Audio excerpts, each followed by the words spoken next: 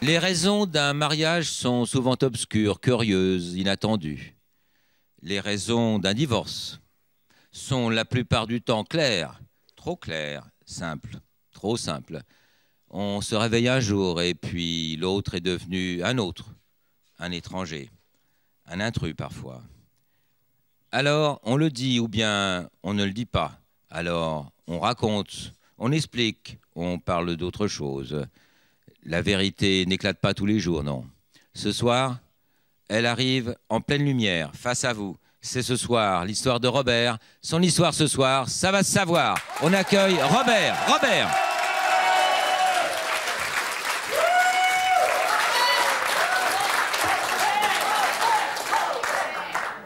Robert, bonsoir. Bonjour, c'est moi.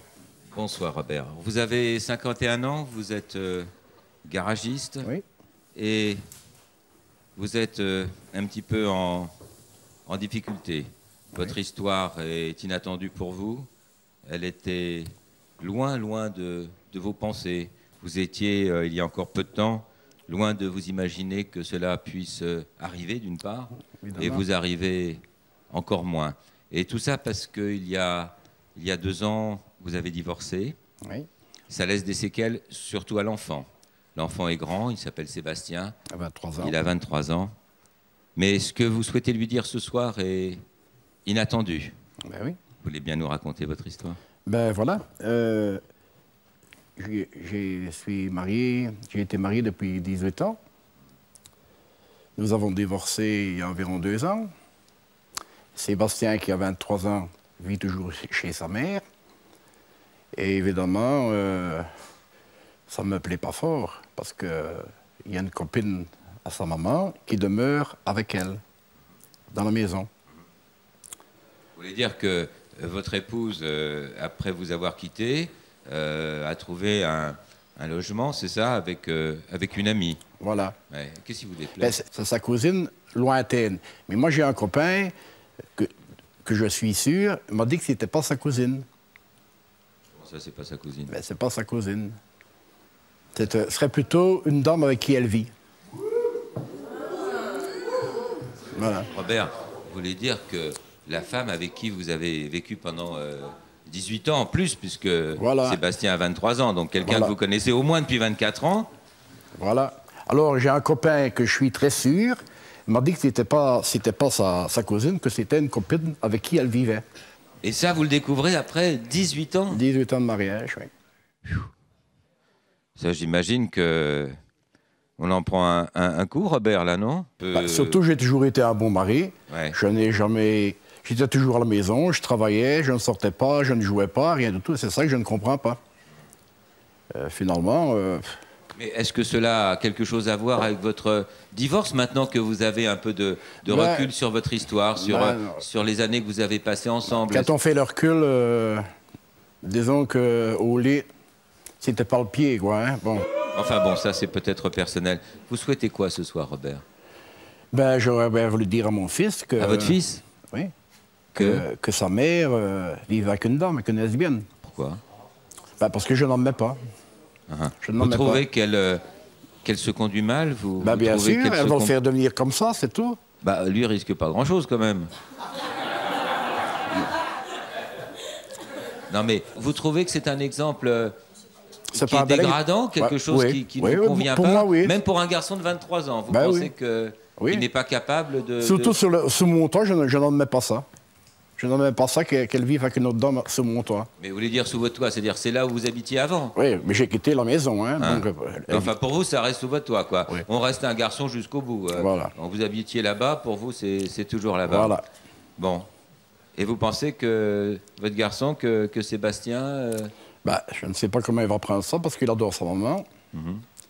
Euh, mais Sébastien est étudiant, Sébastien a 23, il a 23 ans, ans. il est étudiant. Ouais. Vous pensez pas qu'il est capable de comprendre la vie, de comprendre que peut-être euh, Bah, je voudrais- les choses euh, Ouais. peuvent être. Je voudrais bien lui poser la question, quoi, Ouais. parce qu'on n'ose pas en parler. quoi.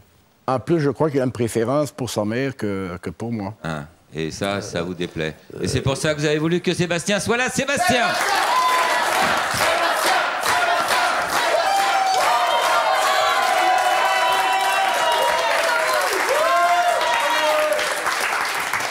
Sébastien, bonsoir. Sébastien, vous avez 23 euh, ans, vous êtes étudiant en langue. Nous venons de, de parler euh, quelques instants avec Robert, votre papa. Euh, je vais vous poser la, question qui le tracasse le plus directement possible. Votre papa nous dit, je crois qu'il préfère maman à moi. C'est des questions qu'on pose aux enfants lorsqu'ils ont 4 ans, mais lorsqu'ils ont 23 ans, est-ce qu'on est capable d'y répondre? Ah, Je pense bien, oui, en effet. Ah, mais j'ai tout d'abord quelque chose à dire. Hein. Oui, dites. Avant que vous n'interveniez. Ben voilà, je suis content que tu es venu, parce que... Parce que tu me parles encore, toi, maintenant, en fait. Ben, ben, c'est ça que tu veux dire? Tu es là, je t'ai invité à venir. tu m'as invité à venir. Bon, voilà, c'est pour te dire que ta mère couche avec une femme. Tu connais la Guylaine? Tu connais Guylaine?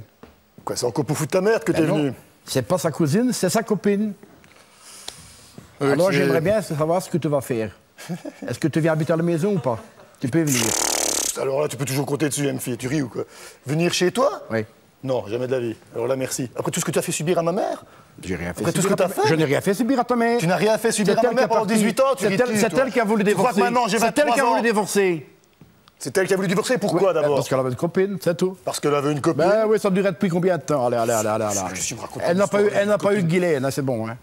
D'abord, Guylaine, c'est une cousine. C'est pas ta cousine. Ça fait 4 mois. C'est pas ta cousine. C'est une cousine à elle, de toute manière. Elle a fait croire ça. Elle t'a fait croire ça à toi et à moi. Euh, euh, Je regrette. C'est une cousine, simplement, ok Toi, maintenant, ce que tu lui as fait faire pendant les 18 ans, qu'est-ce que tu dis, toi, avec ta bonne moralité, se disant que tu es un bon père et eh tout ben ça oui, Ou ben un bon mari, peut-être ben, J'étais toujours à la maison, je... travaillais, je ne buvais pas. Euh, tu ne buvais pas, Bon, un, petit verre comme tout le monde. Un petit verre comme tout le monde de temps en temps, ouais. Ah ouais, belle affaire, ouais. C'est pas ça qu'on a reproché quand on a un divorce. C'est pas ça qu'on reproche, non. Mais quand tu arrives hein, et que tu restes à la maison tous les soirs comme ça, sans bouger, regarder devant ta télé, dans ton divan, hein, déjà la marque des fesses de bien incrustées dedans, et tout ça, et qu'à chaque fois tu te fais tout servir, un sale macho tout le temps. Ben, bon, quand tu sais qu'un copain sûr, qui jure sur la tête de ses enfants que que sa cousine, parce que sa cousine, soi-disant, c'est pas sa cousine, c'est ah, la personne qui s'amuse. C'est ça, ouais, donc tu fais confiance au, copain. Oui. Il a joué sur la tête de ses enfants. Ça va donc voilà pourquoi je suis là ici. Pour que tu lui dises des trucs pareils devant, ah devant, des gens. Non, c'est pas pour ça. C'est parce que Robert a envie d'être aimé. Robert a envie que. Écoutez, Pour, être, pour être aimé, il faudrait avoir, faudrait avoir fait pour ça des, des choses pour être aimé, en fait. Il t'a rien manqué à la maison, hein, hein Il t'a rien manqué, il t'a jamais rien manqué. Non, non, non, il m'a jamais rien manqué. C'est vrai que je n'ai jamais eu à me plaindre au niveau scolaire. J'ai eu le pognon derrière et tout ça. De l'affection C'est quoi ton affection que t'appelles Apporte-moi une bière, c'est ça que t'appelles de l'affection Apporte-moi une bière. Euh, ben... Robert, souhaitiez dire la vérité à votre garçon? ben, La vérité, je lui ai déjà dit. Que, que, Non, il est venu faire la merde, et puis c'est tout, il est encore venu pour faire Je lui ai dit la vérité, je lui ai demandé s'il voulait revenir à la maison, je lui ai dit que, que la personne qui vivait avec sa maman, que c'était pas sa cousine, c'était... Et si Sébastien, euh, ce que dit Robert est, est vrai? Alors je n'admets pas qu'ils vivent sur le même toit. Mais qu'est-ce que tu as à dire Qu'est-ce que tu as à dire depuis que tu es parti Qu'est-ce que tu as encore à venir faire ta... Tu te comprends pas Mais je ne suis pas tout le monde. Mais de toute manière, attends, maintenant j'ai 23 ans, jusqu'à quelque part, je suis un peu majeur. Ah je peux encore décider pour moi-même ce que je peux faire, non C'est pas encore à toi de venir foutre ton nez là-dedans. Et de toute manière, même si elle l'était, de toute manière, et quoi C'est son problème, c'est pas ta vie, c'est pas la mienne. C'est sa vie à elle, et puis c'est tout, et ça va Mais je suis toujours clair, hein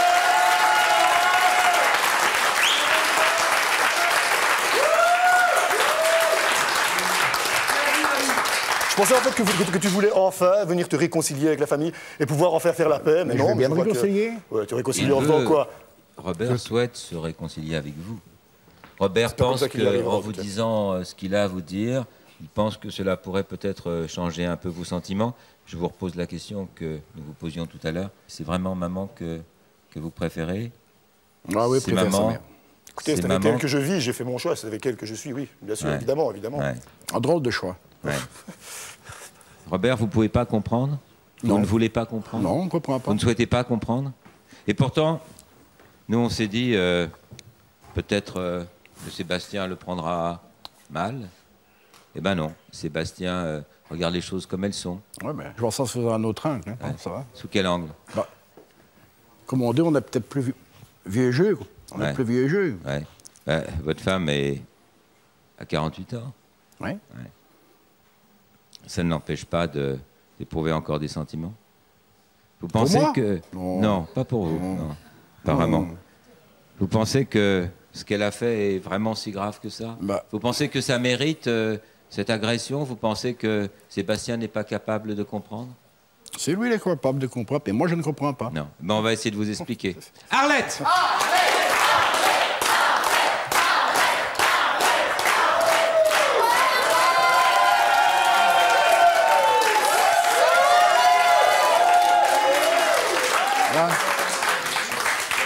Arlette, bonsoir. On, on reconstitue les familles, parfois. Parfois pour un instant, parfois pour plus longtemps. C'est quoi la femme qui vit avec toi là? Oui, parce que la question que Robert Arlette voulait vous, vous poser. Je sais, je sais, tout. Bon, je vous laisse. Je sais tout. Je ne te regarde pas. Et tu n'as pas honte? De toute façon, on est divorcés, je fais ce que je veux de ma vie. Tu fais ce que tu veux de ta vie, je fais ce que je veux de ma vie. J'ai pas de compte à te rendre. Ouais. Tu m'as toujours critiqué et toi tu couches avec une où, femme. Où je t'ai critiqué tu t'ai critiquais toujours, toujours. laissé faire ce que tu voulais. Tu- Ne commence pas, hein. On va pas ressortir tout, hein. S'il te plaît, hein. Bah, si. Parce que là, je vais te mettre bas, hein. Tu m'as toujours critiqué Bah oui. et c'est tout. Que je fasse n'importe quoi, tu m'as toujours Qu'est-ce que critiqué. t'as fait? T'as jamais rien fait. Jamais rien fait? J'étais toujours fait, à la maison, désolée. comme j'ai dit au fils tout à l'heure. Oui, quand je suis à la maison, t'es à la maison. Mais quand je suis au boulot, t'es toujours dehors, hein. Arlette, lorsque vous, vous décidez de, de partir, parce que lorsqu'on divorce, c'est toujours l'un qui le souhaite et l'autre accepte. C'est vous qui décidez de partir. Pourquoi? Parce que je n'étais pas heureuse. Pourquoi? Parce qu'il ne me donnait pas l'affection que je méritais. je suis restée des années avec lui. Bon, Mais 20 ans, 23 ans. pour mon fils, parce que j'adorais mon fils et je voulais pas le séparer de ses parents. Ah, Donc vous Parce- avez attendu, vous, qu'il soit grand assez, assez grand, Grâce et pour grand qu'il pouvoir qu'il comprendre. fasse, qu'il fasse sa vie. J'ai d'abord pensé à mon fils avant de penser à moi. J'ai tout subi de mon mari, tout. Enfin, de mon Toutes ex. les excuses Voilà, j'ai bonnes tout subi. pour partir avec ta Gwyn, c'est tout. Oh, Non, oh, mais je la- hein. D'abord, tu la respectes. Ma Gwyn, elle elle s'appelle Gisèle.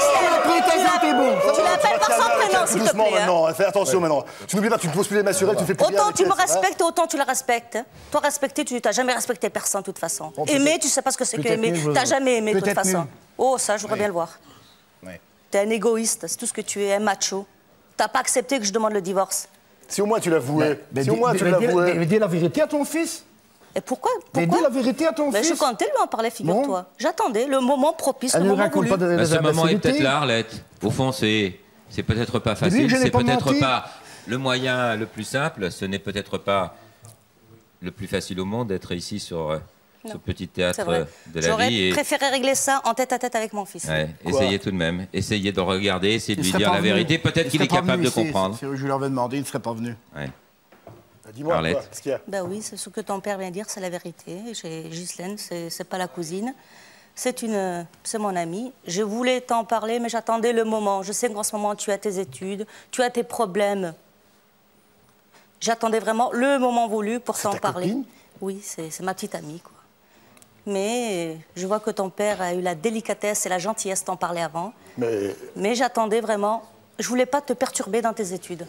Et je sais que tu as tes problèmes comme tout le monde. Mais je pensais t'en parler, mon chéri. De Je toute pense... façon, je souhaite qu'il ne reste pas chez toi. Ça va? Mais de toute façon, je pense que tu vas arriver à faire ça.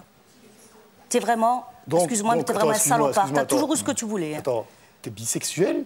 Oui, mon chéri, je suis bisex- bisexuelle. J'aurais préféré te l'annoncer Ça ne autrement. te dérange pas, toi? Te J'aurais préféré- Écoute, Écoute, de toute autrement. manière, hein, elle fait ce qu'elle veut, c'est pas ça. Ce que je ne comprends pas,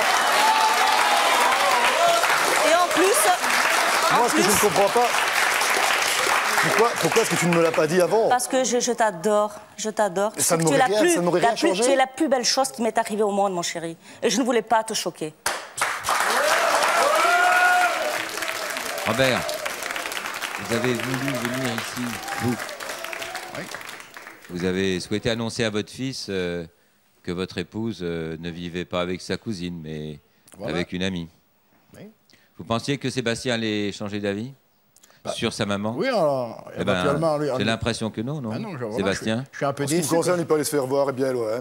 Mais Pardon tu sais, mon chéri, je Attends, te attends, en ce qui me concerne, il peut aller se faire voir et, bien loin, je dire. Votre Mais papa si tu veux retourner avec ton père, je ne te retiens pas. Tu sais que je t'aimerais toujours autant. Bon, hein. écoute, écoute. Si écoute, t'es grand, tu t'es majeur, tu- tu fais ce que tu veux de ta vie je sais ce que maintenant, tu hein. veux dire. Écoute, tu fais ce que tu veux de ta vie. Tu- tu- Bon, voilà, maintenant, euh, la belle affaire Ghislaine, bah, c'est- c'est c'est- c'est ta copine. Et si, je- et si c'était un homme, t'aurais fait le même euh, bazar?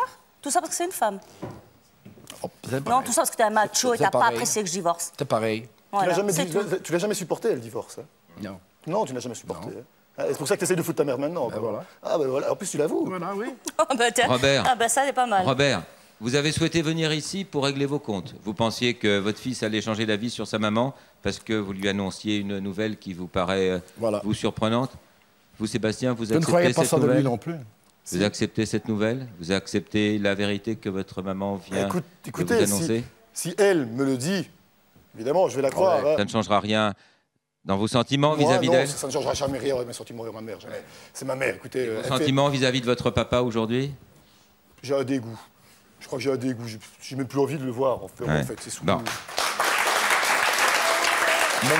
C'est pareil, hein tu peux, toujours... C'est euh, pareil. Robert, eh ben, personne ici ne vous critique, même si vous entendez des ou et des a. Euh, c'est vrai que c'est plus facile d'être assis ici et, de porter un jugement sur ce que vous venez de vivre. Je ne suis pas sûr que si on était assis à votre place, on, ne verrait pas les choses. On a euh, chacun ses idées. Hein. on ne verrait pas les choses différemment. C'est un petit peu comme cela que cela fonctionne. En tous les cas, euh, moi, je pense que vous arriverez peut-être à, à, mieux comprendre la vie demain. C'est en tout cas ce que je vous souhaite. Merci.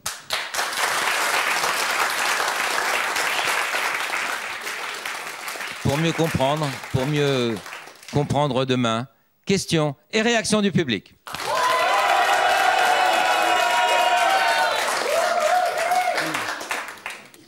Euh, Raphaël de Bruxelles. Bah, moi, quand je vois les réactions de Sébastien, je me dis que vous n'avez pas dû être un si bon père que ça, quoi. Puisque dès qu'il vous voit, il réagit mal. À mon avis, euh, madame est partie et maintenant vous essayez de, mettre la merde dans les Quel autres. Quel âge avez-vous Moi, j'ai 20 ans, monsieur. Ça se voit. Je suis désolé, hein, si, mon, si mes parents se séparent et que ma mère part avec une femme, euh, c'est pas, ce qui va, c'est pas ça qui va me vexer. Quoi.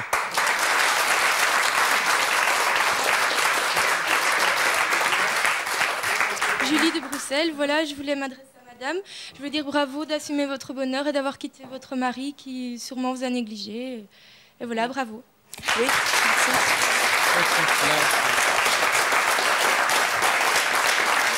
Bonsoir, euh, Redouane de Bruxelles. Je voulais poser une question, monsieur. Pourquoi vous êtes venu et foutre la merde au fait entre votre fils et votre femme?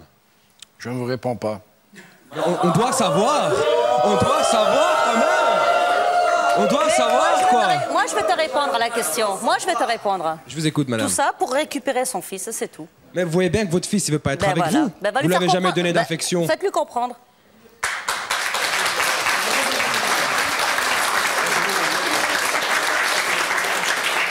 Euh, Isa de Bruxelles, j'aurais juste voulu faire une réflexion au monsieur. Euh... fait.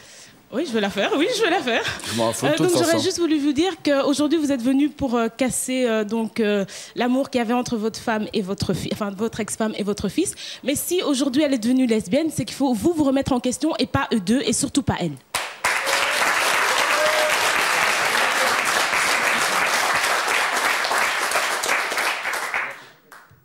Il n'est pas facile aujourd'hui d'être un enfant du divorce. Un enfant qu'on n'aime pas, qu'on n'arrive pas à aimer parce qu'il ressemble à l'autre, parce qu'il ressemble à l'autre qu'on n'aime plus et qu'on a tant aimé. Toute la haine, toute la rage d'un divorce se font parfois sur un innocent, sur celui ou celle qui n'y est vraiment pour rien. Aujourd'hui, les enfants comprennent. Hier encore, ils souffraient en silence. Aujourd'hui, ils comprennent, ils parlent. Ils souffrent tout autant, mais mais ils en parlent. Peut-être seront-ils différents avec leurs propres enfants? Peut-être. Et ça, ce serait bien. Et ça, ça va savoir. Bonsoir.